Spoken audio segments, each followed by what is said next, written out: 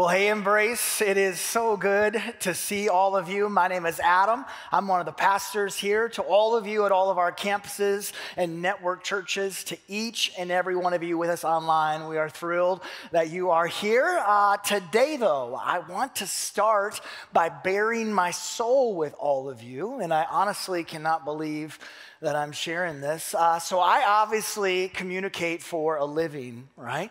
And because of this, you would maybe assume that I'm good with words. Like you'd maybe assume that I'm good at pronouncing saying English words. And honestly, I thought for most of my life, that this was true as well, to the point that I really have never even questioned it. Uh, turns out, I guess I was wrong, okay?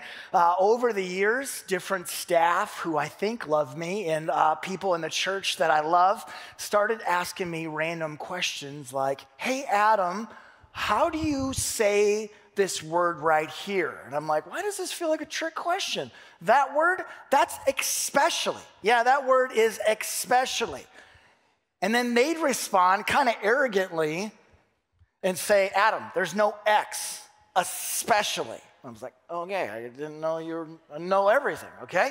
Uh, another example, as a pastor, I'll often talk about how Jesus has changed my life. You know, a pastor normally talks about Jesus changing my life, but what's the plural way of saying that, okay? What's the plural way of saying that? Our lives, our lives, our lives. I do say it, our lives. Uh, well, it took only 15 years. I fixed this one now, I think, for the most part. I'll never forget it though. Uh, several years back, a guy came up to me. Immediately, I could sense that he was annoyed and was not about to joke with me. But he said, Hey, Adam, I have to be honest, I can't stand it. Anytime that you say our lives, it drives me insane. I was like, I thought about it for a little bit and I was like, okay, well, Jesus loves you too. And I hope he changes your lives, okay? I hope he changes your lives. I had to. Uh, another example uh, right now, it is football season, and in the NFL, what's the last game of the year called? Well, I call it the Super Ball. The Super Ball. I'll never forget. Uh, uh Brian Rock, our 57th Street campus pastor, came up to me one time and he said, Hey, Adam, can you please stop talking about a giant bouncy ball in church? I was like, How dare you? Uh, other examples of words that it turns out I can't say library, drowning. I thought there was two D's. I don't know what it is. Ridiculous. Uh, really quick, first off, can you pray for all the arrogant know it alls in our church? Okay, I feel like we should take a moment for that. And also, just for the record, I did graduate from elementary school, okay? But who knew that words could be so hard to say? Speaking of that, today we're starting up a brand new series called The Hardest Words to Say. The Hardest Words to Say. And just to state the obvious, our world is rarely ever at a shortage of words. We live in a world that is quick to speak, slow to listen. We're quick to post, slow to think. We're quick to talk and slow to live it out.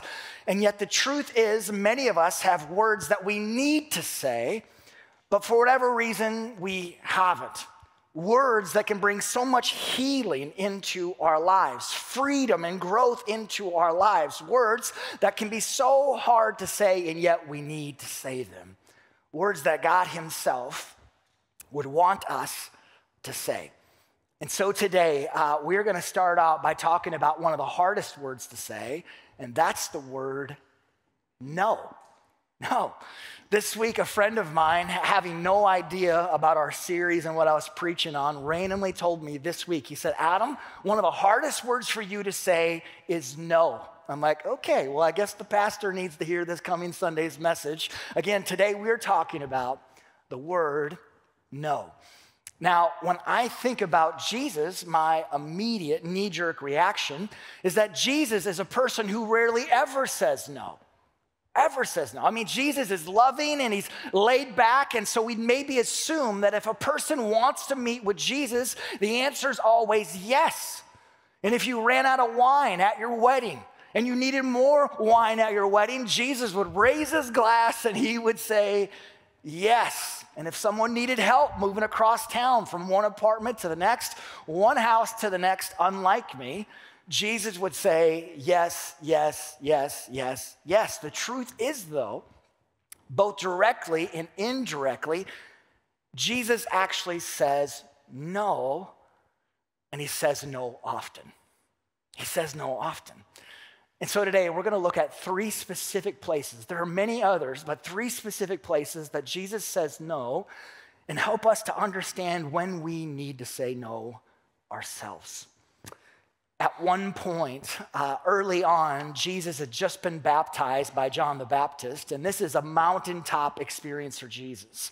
But as soon as Jesus comes out of the water, in the very next verse, we're told this Then Jesus was led by the Spirit into the wilderness to be tempted by the devil. Again, the, Jesus has this mountaintop experience, and then immediately after, he's brought out into the wilderness where there he is tempted by Satan himself. Now, a quick side note I always warn people that anytime you take a step of faith, I always warn people anytime you take a step of faith, like you decide to get baptized, you decide to tell someone about Jesus, anytime you take a step of faith, maybe you decide to raise your hands and worship for the first time, you decide to start tithing, you decide to forgive someone who's hurt you, I always warn people if you do, don't be surprised if immediately after you are tempted or discouraged or both, because this is exactly what Jesus himself experienced. Friends, when this happens, don't be surprised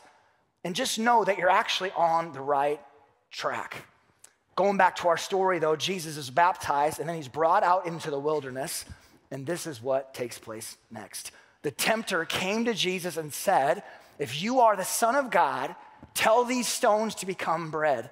Jesus answered, It is written, man shall not live on bread alone, but on every word that comes from the mouth of God. And so Jesus is tempted, and then two more times Satan tempts Jesus again, and then we're told, this. Jesus said to him, Satan, away from me, Satan, for it is written, worship the Lord your God and serve him only. Then the devil left him, and the angels came and attended to him. Seriously, three different times, Jesus is tempted by Satan, and yet instead of giving in to these temptations, what does Jesus do? Jesus indirectly says no. He says no. Friends, today, looking at Jesus, what can we learn? It might be so hard to say, but friends, you and I, we need to say no to temptation. Again, this can be so incredibly hard. It can be brutal at times, but you and I, we need to say no. We need to say no to temptation. So I started following Jesus around my sophomore year of high school.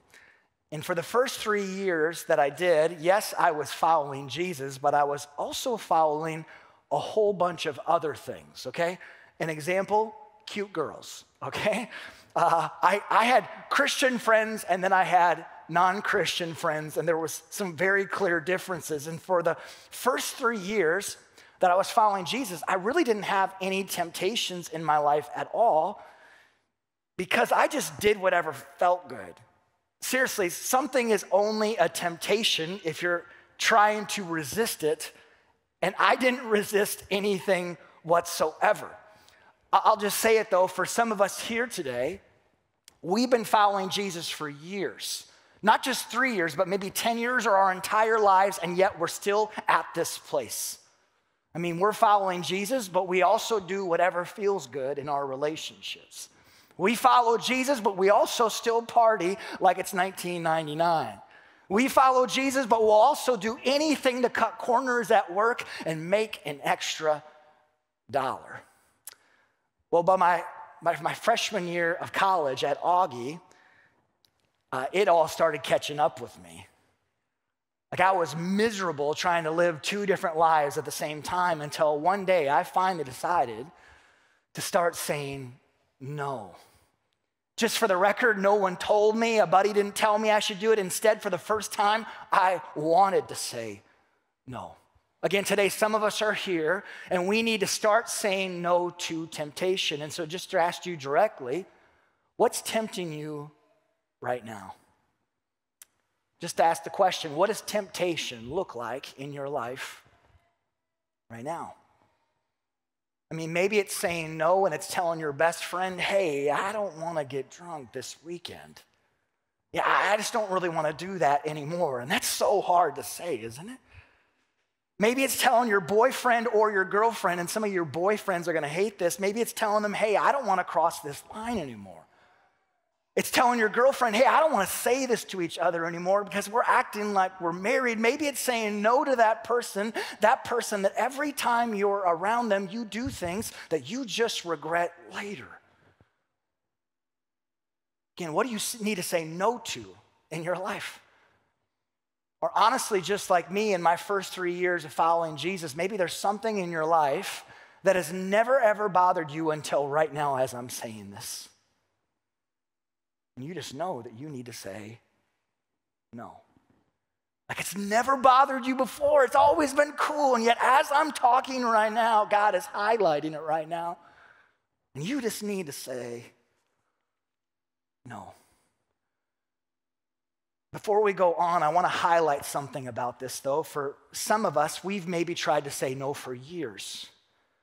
We've tried to say no, but we just can't stop doing whatever it is. Well, looking at this story, Jesus says no, but he also does a whole lot more than that.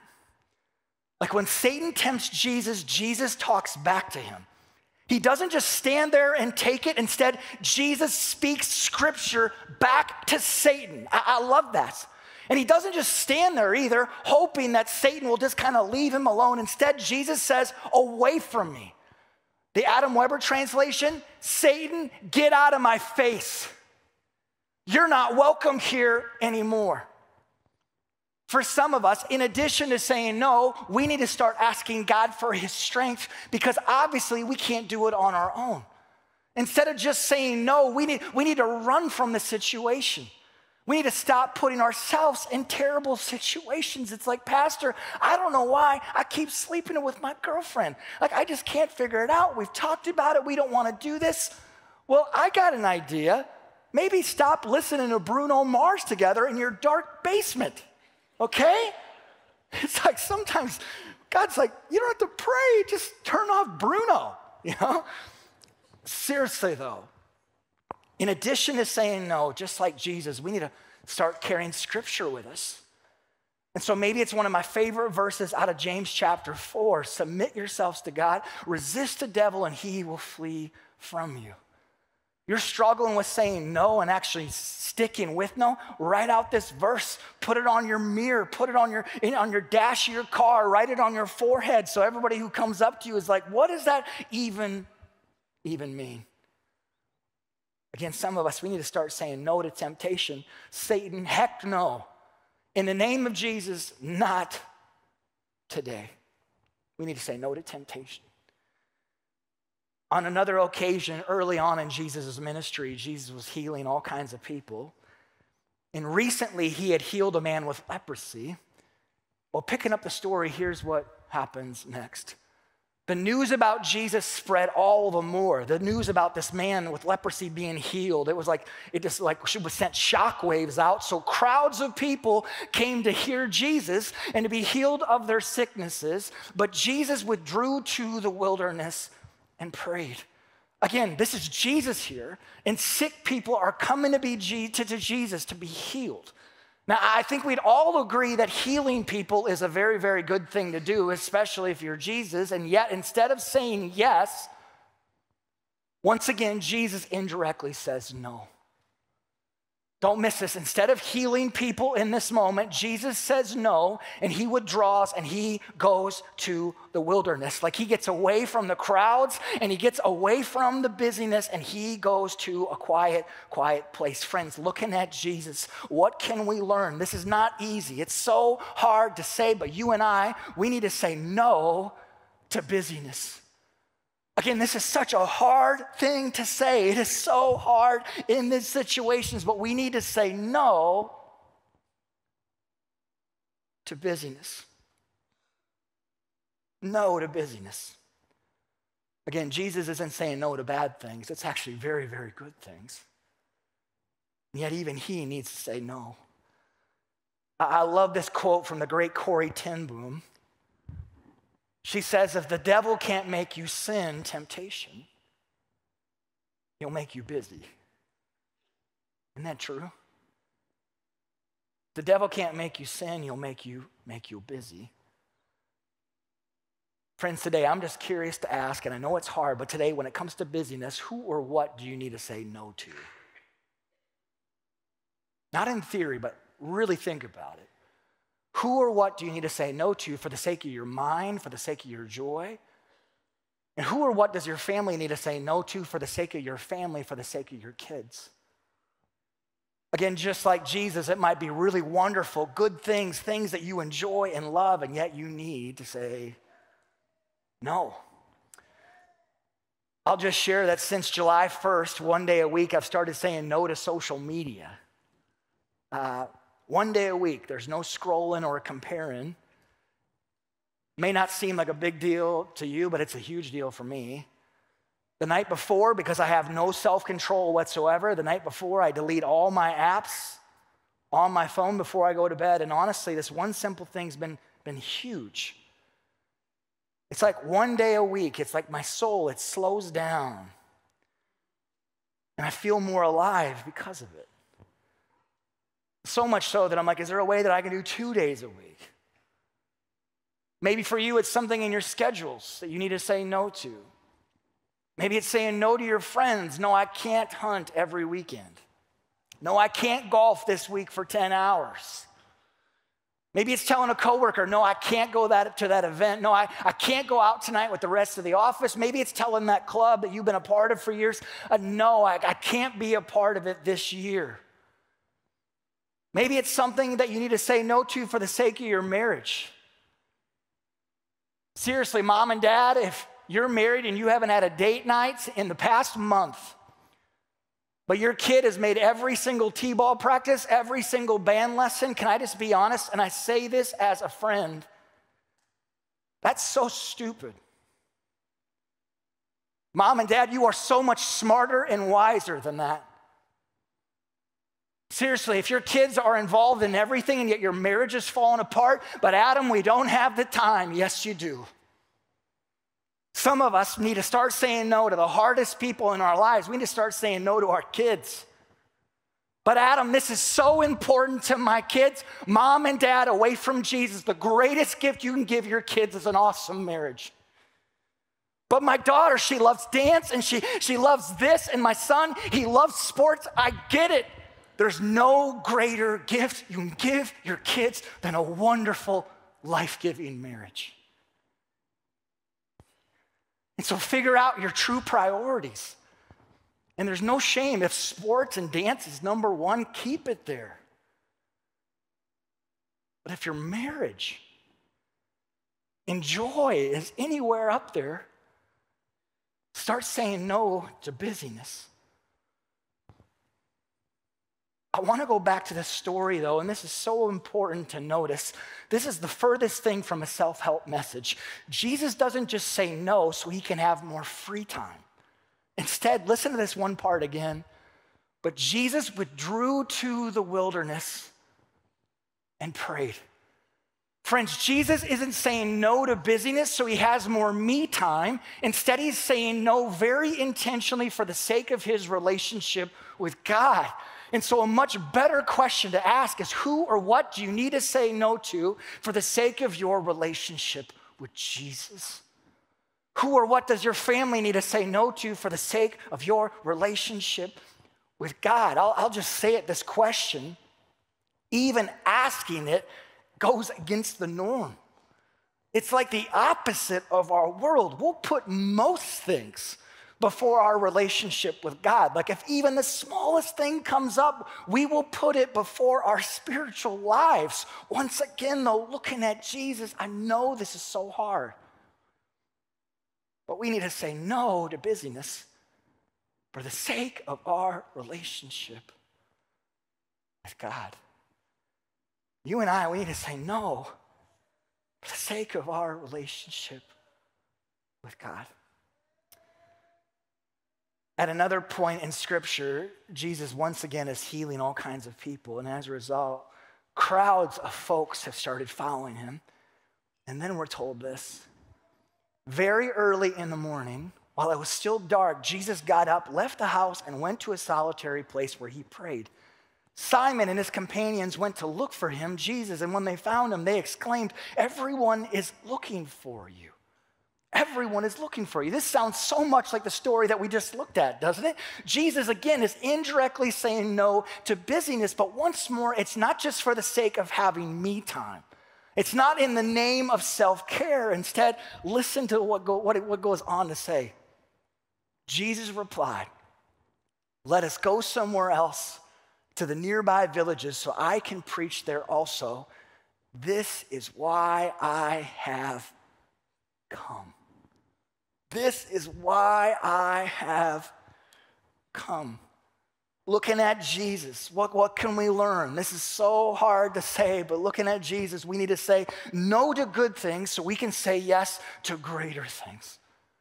Again, looking at Jesus, we need to say no to good things so we can say yes to greater things. So we can say yes to the greater purpose that God has on our lives. No, so that we can say yes to make a greater impact for Him.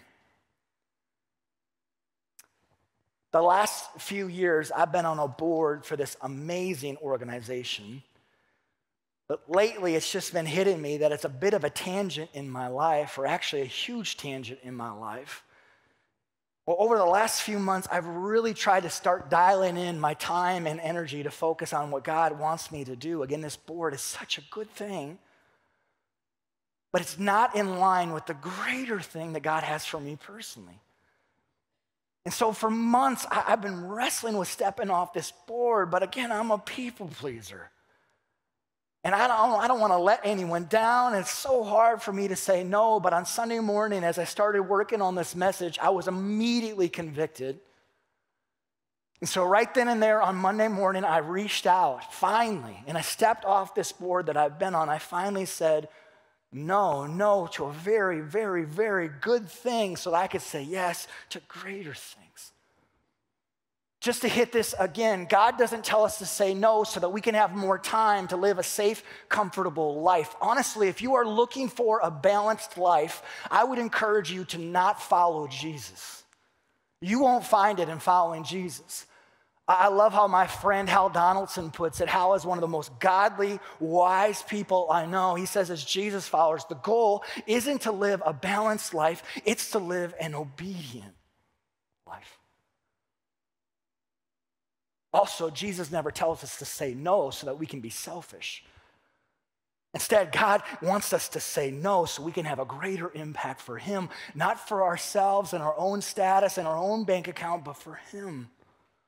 So we can focus all of our time and energy on making a greater difference for the kingdom of God.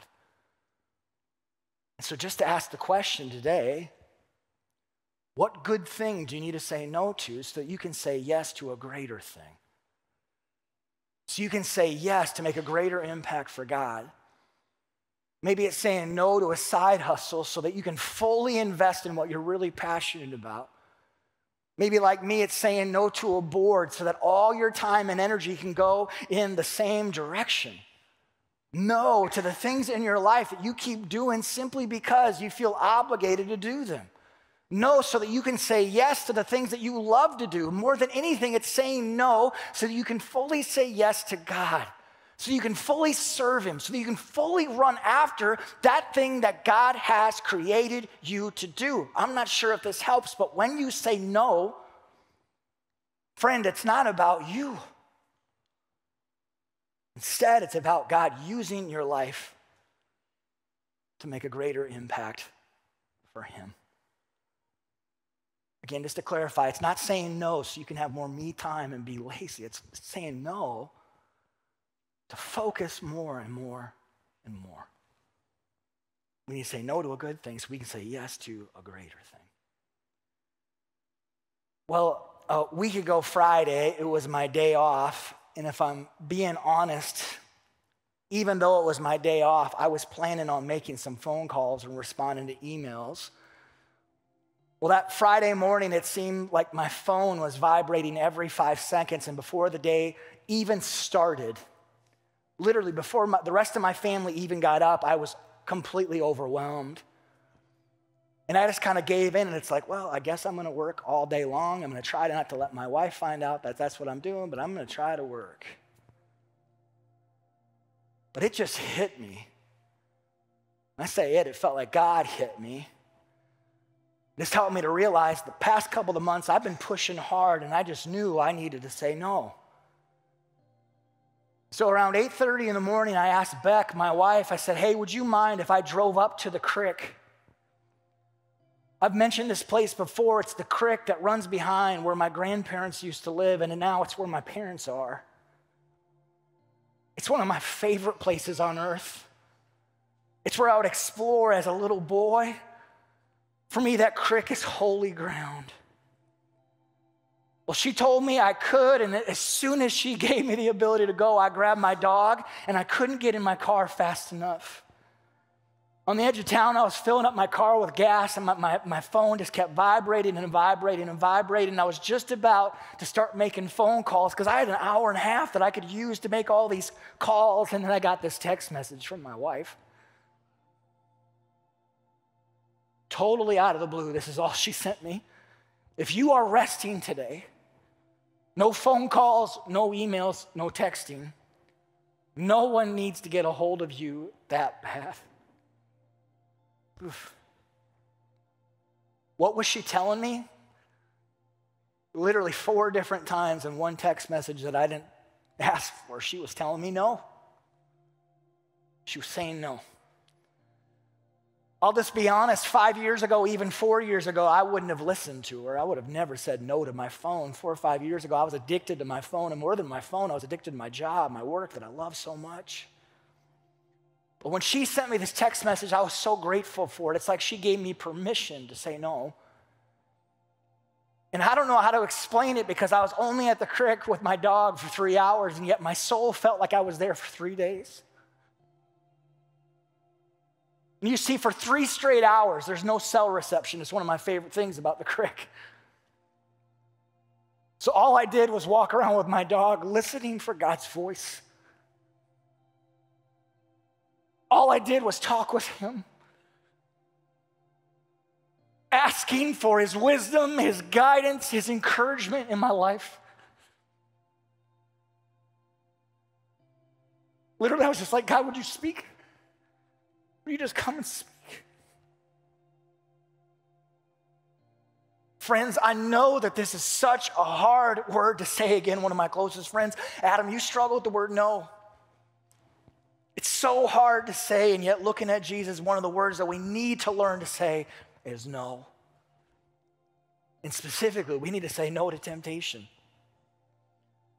Some of our lives are overrun with crap and sin, and then we wonder why we can't feel God's love and His presence. Some of us need to say no to busyness, not just for the sake of me time and self care, but for the sake of our relationship with God, so we can hear our Father's voice and His words and His wisdom and His love and His grace. Some of us need to say no to good things to say yes to greater things. Not no so we can be lazy and stand on the sidelines of our life. No, it's saying no to good things so we can say yes to greater things. So we can focus all that we are on the things that God has for us. One of the hardest words to say is no, but friend, you need to start using this word. One of the hardest words to say, no. Let's pray. Gracious Father, we are so thankful for who you are. I, I, continue to be amazed by how you, you meet each of us and you speak to us in a way that we can understand. And I'm so thankful that we have this perfect example in Jesus of what it looked like to walk, to be human, to make a, a difference, to make an impact, but also learn and use this hard word, no. Right now, Holy Spirit, I pray that you would come and meet with each of us right now individually in this room, across campuses, network churches, later in the week through YouTube, whatever it is. Would you just minister to us? What is that thing that we need to say no to?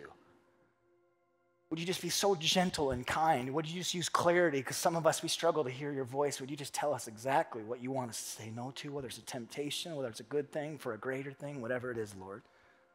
Would you help us to say no? And then this week, today, would you give us the courage to live it out, to actually say it, to actually live by this word that you have given us?